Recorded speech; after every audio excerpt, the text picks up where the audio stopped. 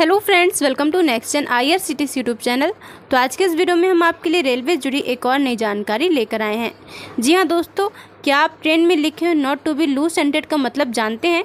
अगर नहीं जानते तो आइए हम आपको बताते हैं। और अगर आपको खबर के बारे में और डिटेल्स चाहिए तो डिस्क्रिप्शन में लिंक भी दी गई है। आप वहाँ जाकर चेक कर सकते हैं। तो चलिए इस खबर के बारे में विस्तार से जानते हैं। दोस्तों, दुनिया का चौथा सबसे बड़ा रेल नेटवर्क भारतीय रेलवे देश की अर्थव्यवस्था का एक महत्वपूर्ण स्तंभ है। और शायद ही कोई ऐसा होगा जिसने आज तक कभी भी ट्रेन की यात्रा ना की हो। वहीं कई बार आपको अपनी ट्रेन का स्टेशन पर बैठकर इंतज़ार भी करना पड़ा होगा।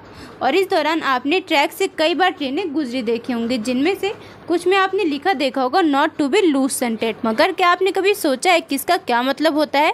तो दोस्तों, दरअसल मालगाड़ियों से कई चीज़ों की ढुलाई होती है, जिनमें आमतौर पर पशुधन सहित खुले पाइप, वाहन, तेल, पेट्रोलियम पदार्थ, डीजल और अन्य ज्वलनशील सामान शामिल होते हैं। और जब ये ट्रेन अपलोडिंग प्लेटफॉर्म पर पहुँचती है तो इन्हें फुल रैक से हॉल्ट किया जाता है और इसे कहीं भी और कभी भी खोला जा सकता है। और जिन मालगाड़ियों के डिब्बों में इन ज्वलनशील पदार्थ को ले जाया जाता है, उनमें not to be loose shunted लिखा होता है, ताकि उनमें कोई लीकेज नहीं हो और अन्य किसी तरह के हादसे जैसे आग लगने से भी बचाया जा सके।